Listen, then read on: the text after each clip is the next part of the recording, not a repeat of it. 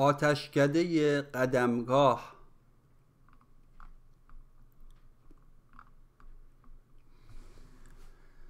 آتشکده قدمگاه در شهرستان جهرم در استان فارس قرار دارد.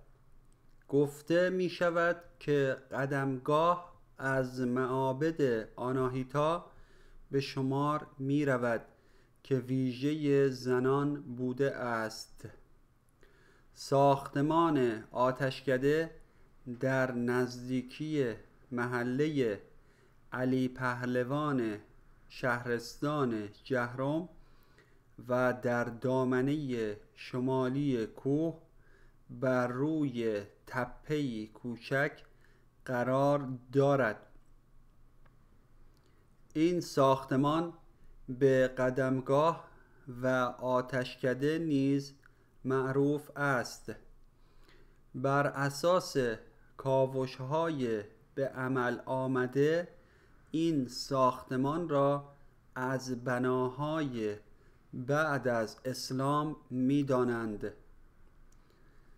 قدمگاه متعلق به دوره ساسانیان بوده و در سالهای اخیر توسط سازمان میراث فرهنگی و گردشگری مرمت و بازسازی شده است. باربد موسیقیدان بسیار معروف و افسانهای دربار ساسانیان بود.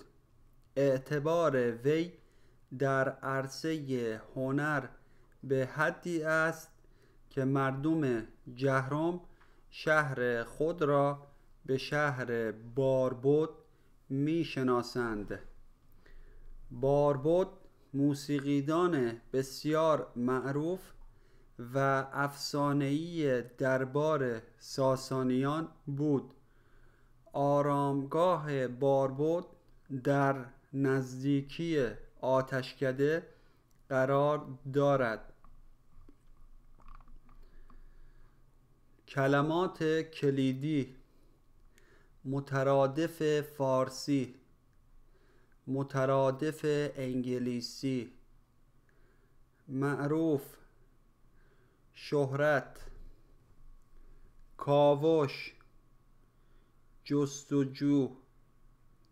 مرمت بازسازی ویژه مخصوص متعلق مربوط افسانه داستان.